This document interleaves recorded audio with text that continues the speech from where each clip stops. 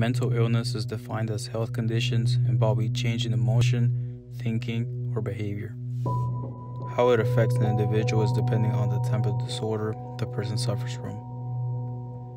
The more common disorders are mood disorders, such as depression, anxiety disorders, trauma, and substance abuse.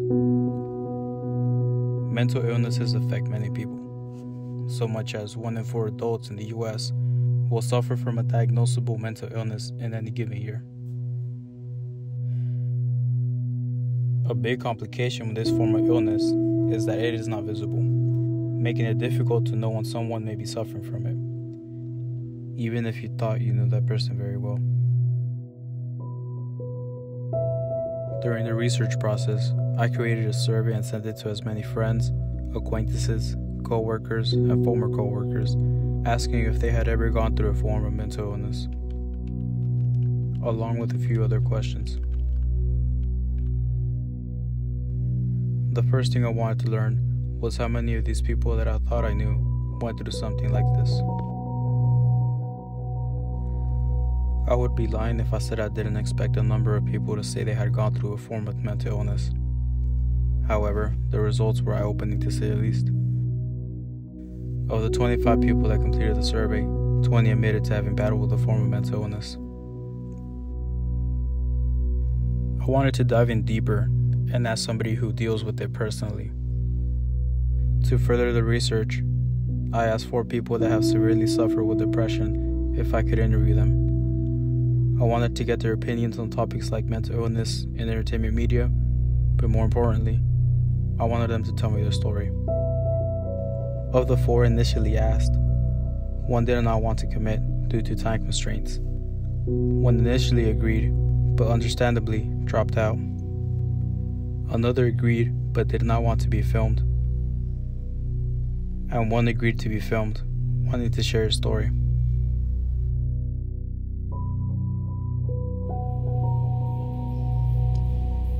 My name is Luis Daniel Garcia. Age. Uh, I've dealt with depression and emotional distress for a little over four years. Um, it's been a tough challenge to try to overcome it, but at the end of the day, it's kind of hard to. So most people just find a better way to hiding it more than just overcoming it. Um, so technically speaking, when I first noticed was a little bit after I graduated high school. Uh, I was a little distant with not only my friends, but I was distant with my family. Uh, I kept a lot of emotions uh, bottled up I kept most of what I wanted to say to a lot of people, I kept it to myself. This is a common thought process throughout the research. The other participant expressed a similar thought process, admitting about lying to friends about seeing a therapist instead of seeking professional help. He also shared the need to remain private, not wanting to share with others of what he was going through. my type of depression is based off triggers. So I can have a good day and not think about anything that could trigger how I feel. But then if I see something that not necessarily discomforts me, but kind of triggers of why I always felt a, a need to to not necessarily have a companion, but to have somebody that I can talk to or to feel understood, um, then I feel my chest gets in pain. I feel trapped. I feel clogged. Um, that I'm just my mood gets killed, and it can happen at any time. You start to feel sad. You start feeling neglected. You start feeling like you don't have a purpose anymore. You just start feeling like you don't want to just be here anymore. You just want to go home and sleep, or you just want to be alone. You just start asking yourself these self-doubting questions. And it gets so heavy, and it gets even heavier, and then heavier, that you just say, oh, fuck it. I don't want to be here right now. And then you get in the mood that you don't want to talk to anybody. And it gets hard. It gets extremely hard.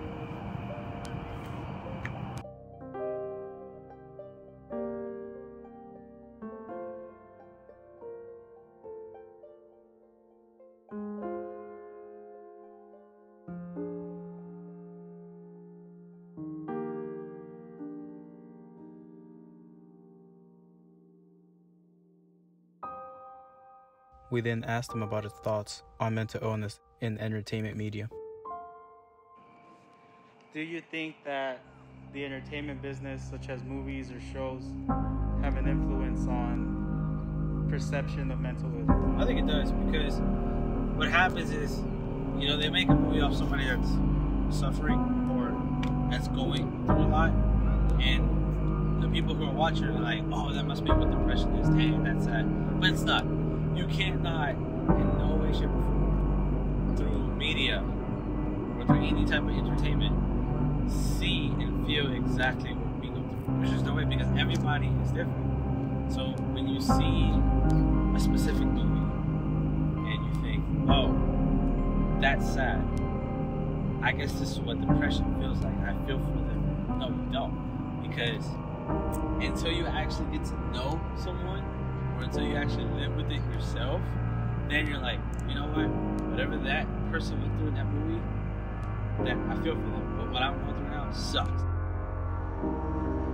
So what I'm understanding is that you get a sense of annoyance when you when you see a movie or show try to tell you what it's like when you know it's different. Exactly. And not necessarily annoyance, but it's more of, dude, you got it wrong. And can't really put the idea of this is what it means. So it's more of a sense of denial and annoyance. Because I can watch a movie and be like, damn, that's real tough, and actually relate to it. Don't get me wrong, there are some media, like for example, there's some shows, there's some uh, movies, there's some uh, songs or interviews that you can actually relate to and be like, damn, like I understand what she's going through. Like it's similar to what I'm going through. So they do a good job of, you know, getting it to be related relatable to people that deal with the same solution. But they have to understand that it's just a vague, like they're only touching the tip of the iceberg. They can't draw to the conclusion that this is what it all is. And a lot of media does that where it says this is what depression is. When reality, to the whole picture. Like they need to take stories from everyone. It is noticeable that perspective is key when it comes to perception of content featuring mental illnesses. When asked about the show 13 Reasons Why, Luis shared a level of satisfaction and appreciation. I'll tell you this, that's very uh it's a very good show. I'll tell you that. Uh, but if I had to describe that movie in one word, as far as what depression means, you almost hit the ball. You almost did. Basically, what I'm saying is, it gave you an idea of what it's like to feel enclosed within yourself. And if you do see somebody that you know is going through a tough time, then it should relay a message like, hey, say something soon rather than later. You never know when it's too late. So it did shine a light as uh, to people who need someone to talk to, how hard it is to reach out to people. It did shine a light on that. But again, I still believe that it missed a lot of, a lot of key important points as to how to exactly deal with it. While many proclaimed that this type of show could be harmful, Luis felt a connection with the show, relating to how it feels to live with depression. The same was felt for the Joker. Split, also the Joker, is a great example of what it's like to live with emotional anxiety and um, confusion, that you lose your sense of your own personality.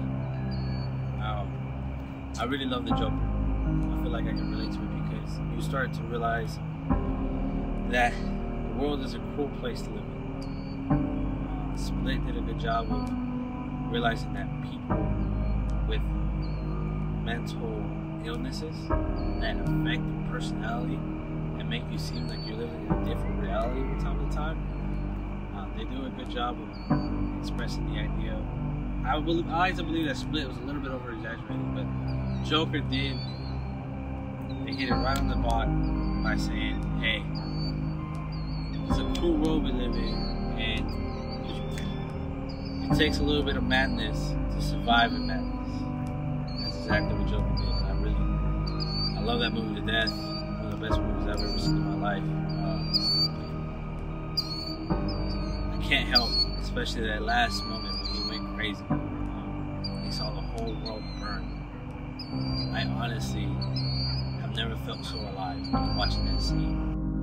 My understanding from Luis's response was that there needs to be a better job in terms of accuracy when it comes to films and series' portrayal of mental illness.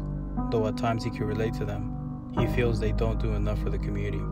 However, the biggest realization from his insight has nothing to do with movies' portrayals and its impact on the mentally ill or public perception. The most eye opening aspect of the interview was the negativity of his household and how that worsens his condition emotions doesn't run in the family. Um, I can't remember the last time my parents told me I love you, and I can't remember the last time I told them that I love them. Um, and that's because my family sees emotion as weakness. The same was the case when asking with the second participant. Instead of having the support group at home, they give more of a reason to feel neglected. Both participants live and grew up in a household where emotions weren't exactly permitted. So, three months after I graduated, I told my family that, you know, I wanted to become a music engineer. Um, and it brought so many problems because they judged me for it. They didn't think it was a worthy career, or they didn't think that it was going to be something that could bring family honor. Um, so they held expectations to me that I didn't feel quite comfortable with. And because of that, I felt trapped in my own household. I couldn't speak to nobody. I couldn't tell anybody how I feel. I had no choice but to help keep it inside and just tell people that I'm okay or I'm working on something. Anything that you bring up is essentially a, an excuse to them. It's not a real motive as to following your dreams. Um, so, following one's dreams in my um, way of living, uh, the way that I was raised, was not something that we were allowed to do. And that does bring an emotional uh, distress of somebody because it, it limits to what you can do. And knowing that you can become a great person, but at the same time restrained from that, um, is why many people find themselves trapped uh, because they just want to be themselves. Before, I always been believer that my money bought everything, including happiness. It buys a moment happiness, but how I feel like I, the emptiness that I have is comfortless. Having a sense of being to talk somebody, talk to somebody about who I am and who I could become. Um, when you don't have that, it makes making them such a drag. Because you can have a long ass day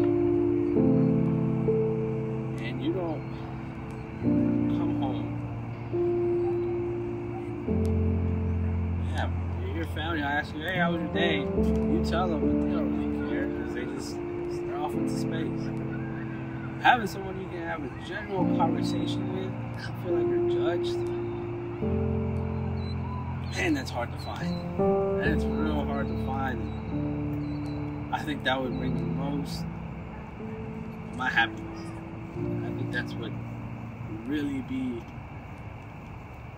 an asset to what I can become truly. Now that they are grown, it is up to them to find their own happiness, something that seems was neglected from them by their household.